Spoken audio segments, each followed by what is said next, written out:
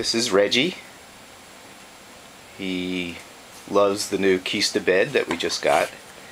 And in fact, he won't get off it. And I want to get on it so that I can lay on it as well.